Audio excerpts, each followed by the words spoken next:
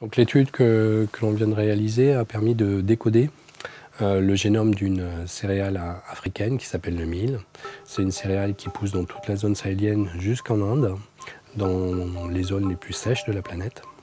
Elle est à la base de la nourriture d'à peu près 100 millions de personnes dans le monde actuellement.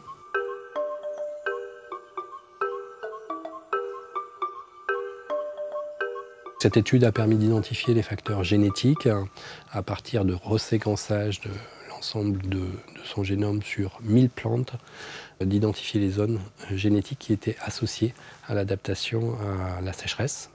Donc ces facteurs génétiques sont une ressource relativement importante et intéressante pour améliorer sa, sa culture dans la zone sahélienne.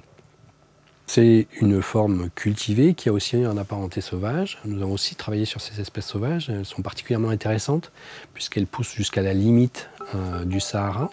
Et dans cette zone-là, elles sont confrontées à des températures relativement extrêmes.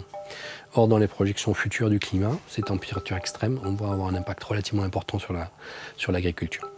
Donc identifier et étudier ces formes sauvages a un intérêt parce qu'on va pouvoir améliorer ces formes cultivées pour qu'elles aient une résistance encore plus forte à des températures extrêmes. Cette étude a aussi permis de retracer l'histoire de l'agriculture dans la zone sahélienne au travers de l'histoire de cette espèce. Donc nous avons identifié plus de 35 millions de variants génétiques et grâce à ces variants génétiques, nous avons retracé une origine de l'espèce euh, et des premières sociétés agricoles dans le Sahel, dans la zone du Mali et du Niger, il y a plus de 5000 ans, puis une diffusion de la culture euh, jusqu'en Inde. Les premiers restes archéologiques en Inde sont datés de 3500 ans.